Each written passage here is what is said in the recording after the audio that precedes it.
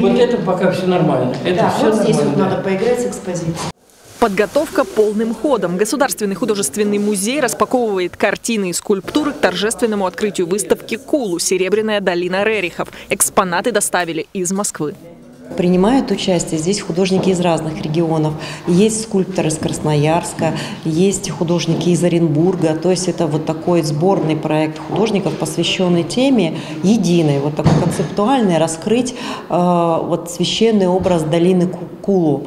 То есть того места легендарного, исторического и э, природного, живописного, где находилось имение э, Рериха, и до сих пор оно существует и теперь функционирует как музей.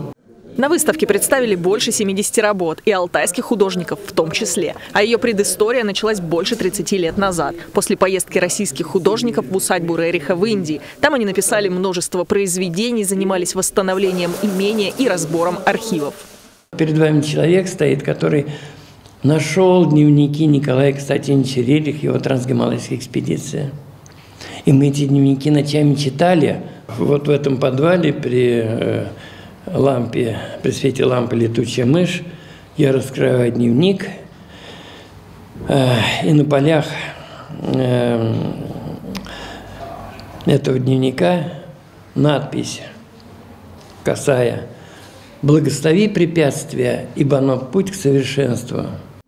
Это стало жизненным девизом Владимира Анисимова, атмосфера места сподвигла художников на создание шедевров. Гималайская живопись, графика и необычные экспонаты, например, яблоко Рериховского сада или ваза Шамбала, которую Владимиру Анисимову подарили около 40 лет назад. Вот сейчас она такая прям свежая, без изъянов, но через несколько лет она будет жить, трещать, от нее будет отваливаться. Да? А я говорю, э, Дмитрий Николаевич, а почему так-то? Да. А я, говорит, нарушил химию. Я здесь эксперименты ставил. И э, химические действия до сих пор идут. И вот я ее подклеиваю, Да, как да, да, подрабатываю. да, да, Торжественное открытие выставки состоится 12 апреля в 16 часов. Посетить ее можно до 13 мая. Юлия Щепина, Владислав Ковалев. День с толком.